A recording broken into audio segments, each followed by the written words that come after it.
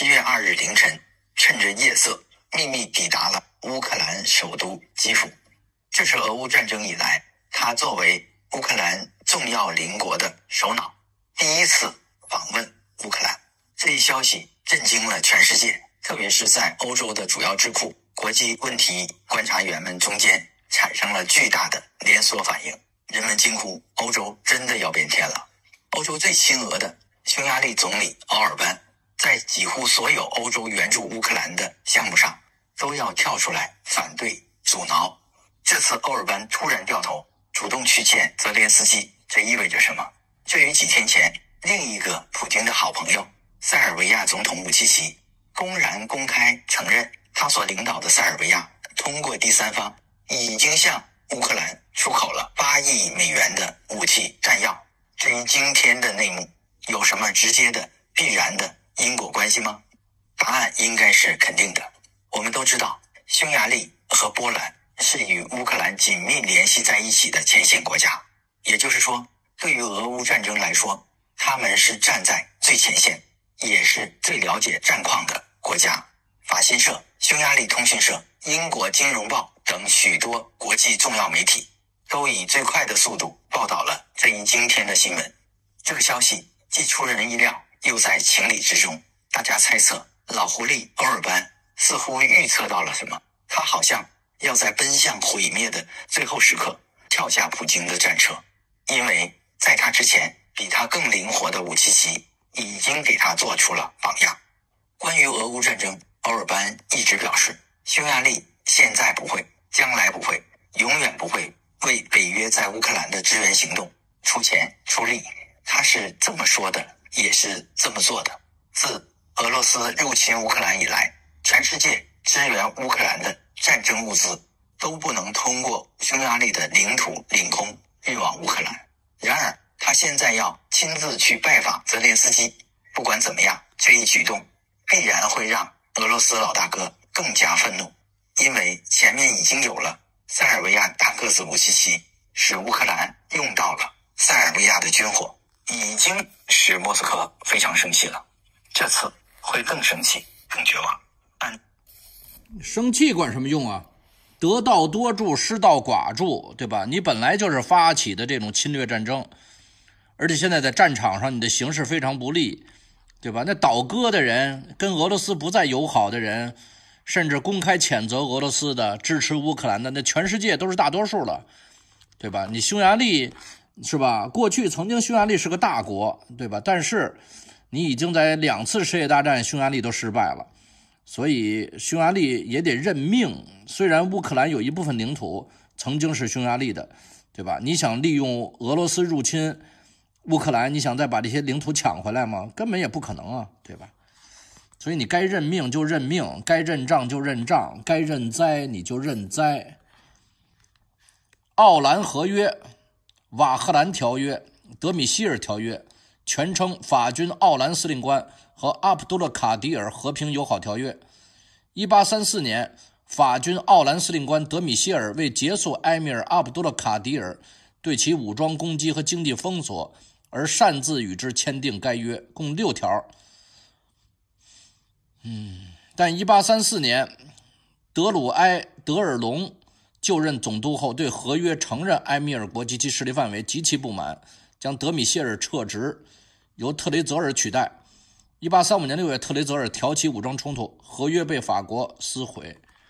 奥兰会议 （Congress of Åland Islands），奥兰群岛会议，北方大战后期一次没有结果的和会。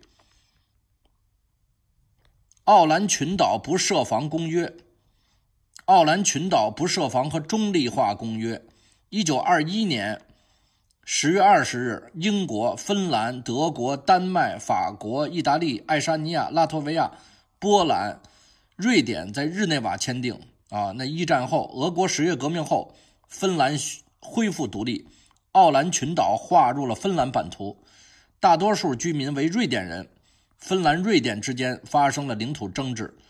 根据英国提议，一九二零年国联理事会开会讨论，邀请两国代表列席。并组织法律委员会进行研究。二一年，理事会决定奥兰群岛的主权属于芬兰。芬兰不得在奥兰群岛设防和构筑炮台，在高岛在该岛的低潮，就是潮水啊低的时候，低潮标准三海里内不得保持任何战备或军事基地。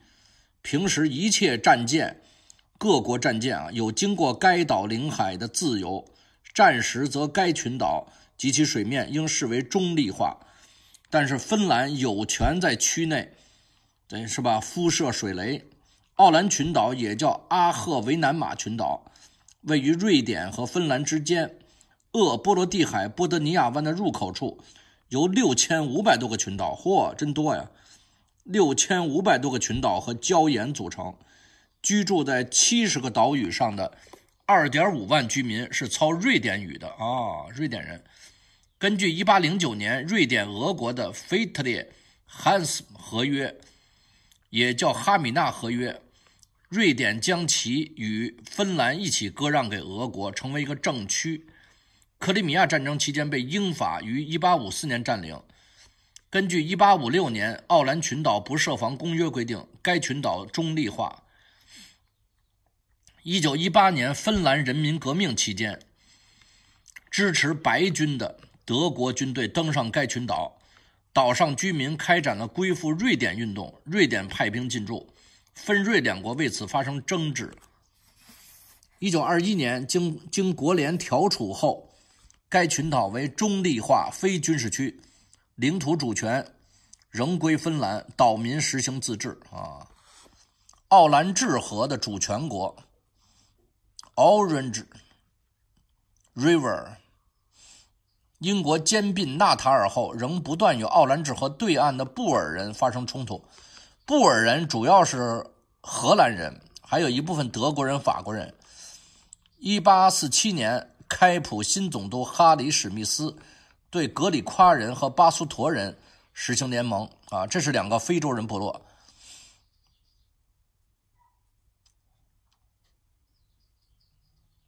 布隆方丹为首都。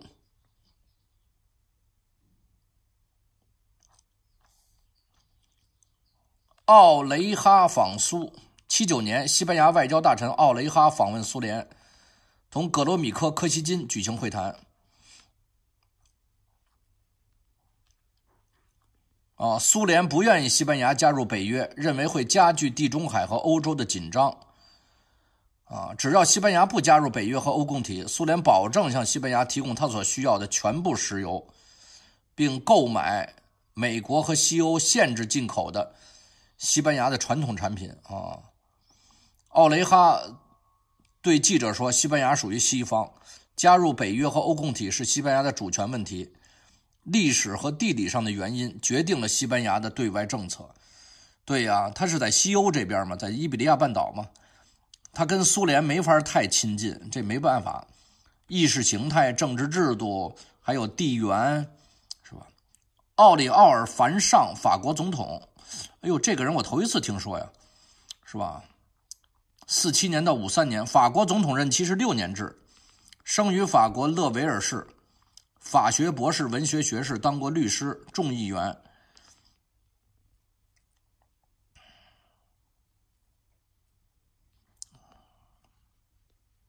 四九年，他把越南纳入了法兰西联邦了，曾经被纳粹囚禁过。奥里诺科轮船事件，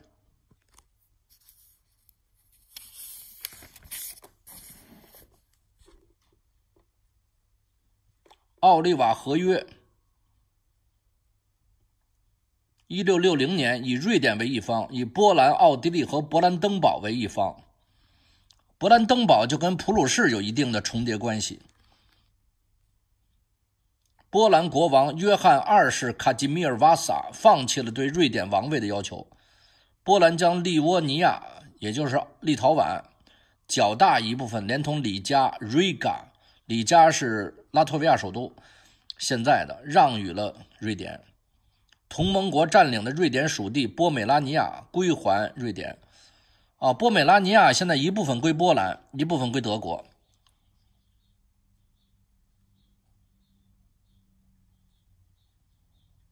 奥伦治的约翰一世沉默者，荷兰反对西班牙统治的领导人，尼德兰联合省的世袭执政，生于德意志拿骚。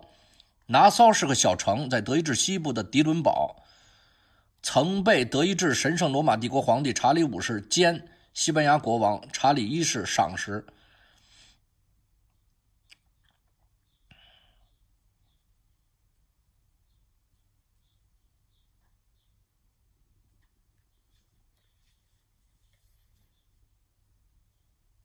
奥普同盟条约，奥地利普鲁士针对俄国的攻守同盟条约。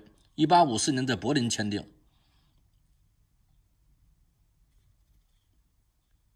奥齐尔巴特访华，蒙古人民大呼拉尔就是人大国会，彭奥齐尔巴特访华。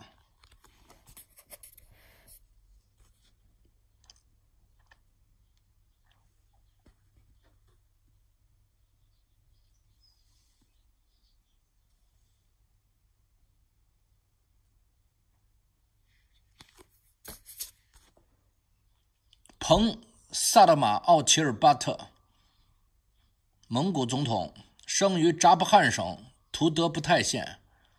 啊，这都在苏联啊，那社会主义国家都在苏联。矿业学院。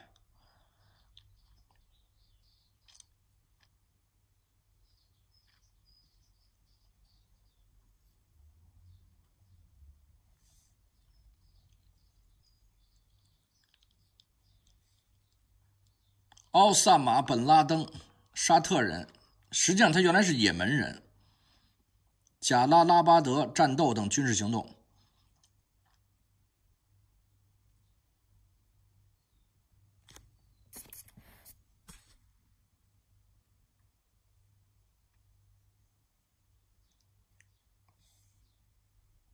安德烈·伊凡诺维奇·奥斯杰尔曼。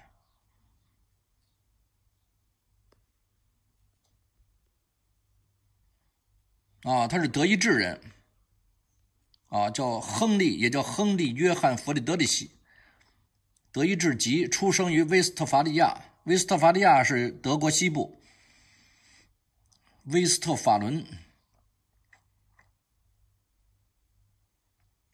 啊，他十七岁来到德国的。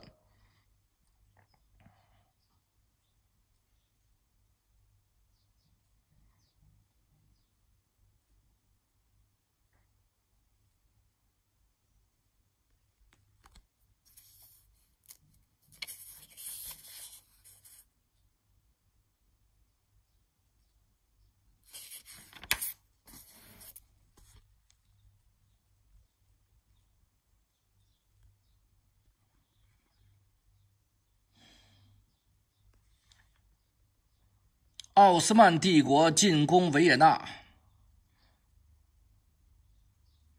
一五二九年，土耳其进攻维也纳以失败告终。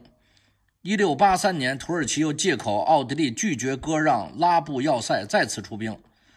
七月十四日，宰相卡拉穆斯塔法帕夏率军抵维也纳城下，围城六十一天，攻击十八次。波兰国王杨索比斯基率援军及时赶到，从背后突袭土军，迫使土军弃尸两万具和大量的武器辎重，向贝尔格莱德逃窜。啊，厉害啊！杀死他两万。土耳其在维也纳溃败后，一六八四年，奥地利、波兰、威尼斯、马耳他结成了反土耳其神圣同盟。一六八六年，俄国也加入了该同盟。